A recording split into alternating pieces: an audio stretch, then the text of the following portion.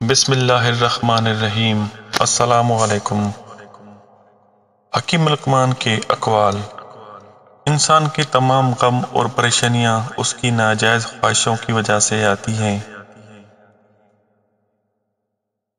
सादा खुराक बहुत अच्छी होती है क्योंकि बहुत किस्म के खाने, बहुत किस्म की बीमारियाँ पैदा करते हैं और कोई किस्म के गोश्त के ढेर भी ख़राब होते हैं। तीन चीज़ें खाने, खा लेने से आदमी की जहनी सलाहियत में इजाफा होता है। दूध के साथ बादाम, रात को सोते वक्त जीरा खाना, सब्ज चाय के साथ सौंफ।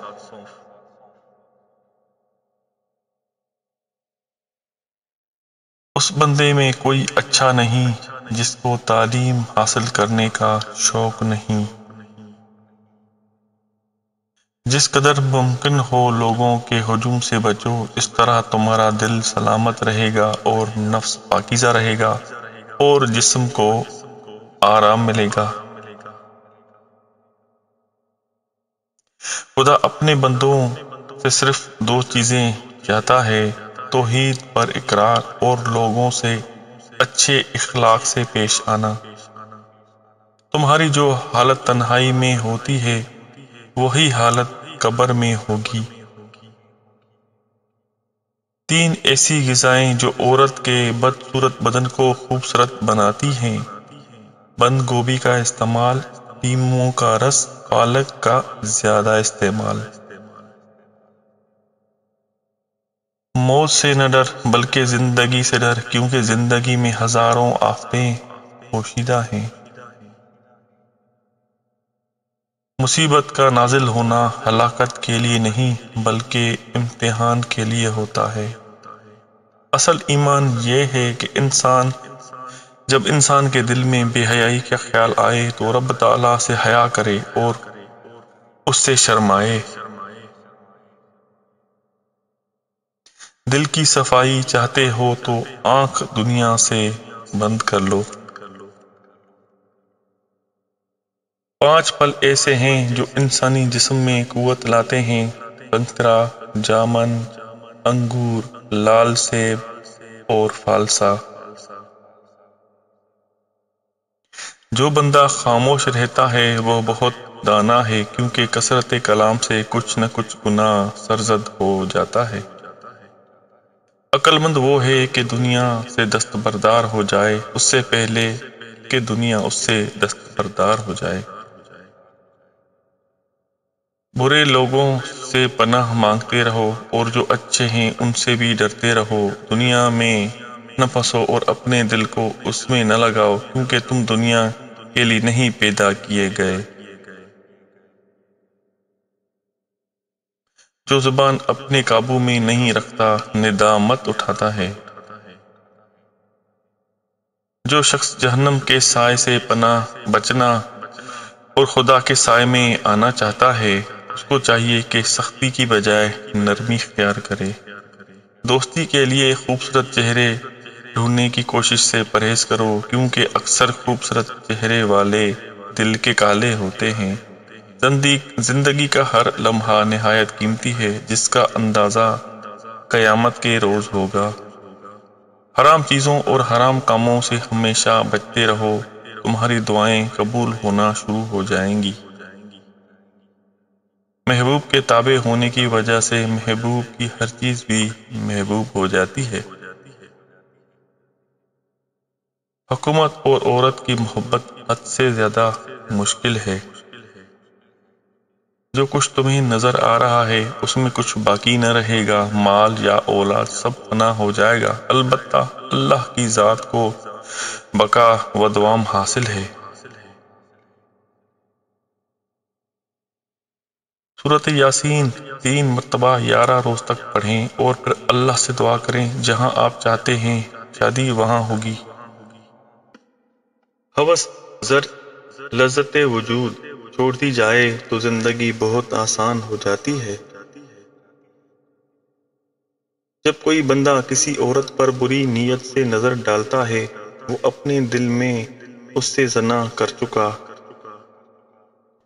ज़्यादा से ज़्यादा आवाम को थोड़े से थोड़े वक्त में और बेहतर से बेहतर तरीकों से बेदार करो।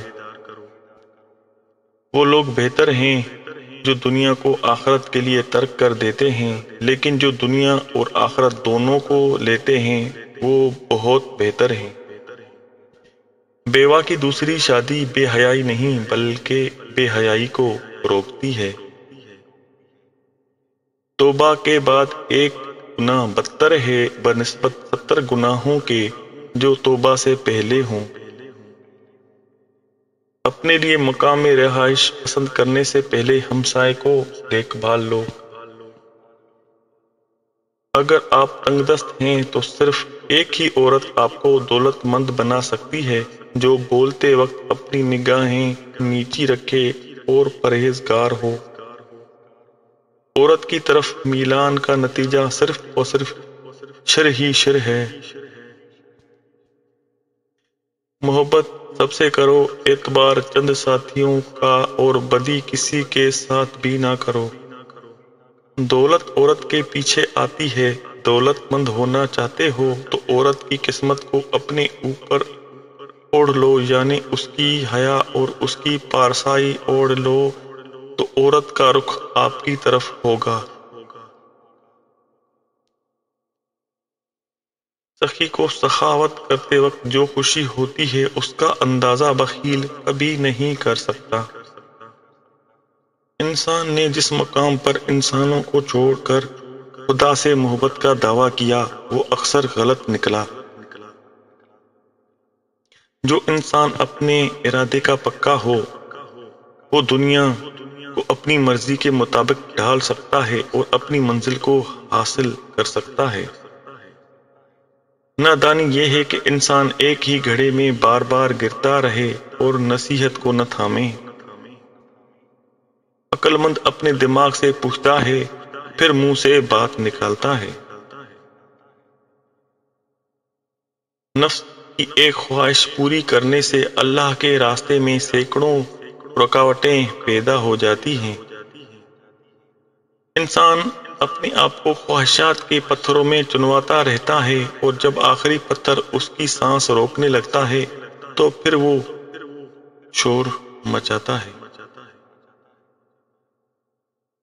आँसू बहाने का कोई फ़ायदा नहीं, क्योंकि आँसू हमारी किस्मत तो नहीं बदल सकते।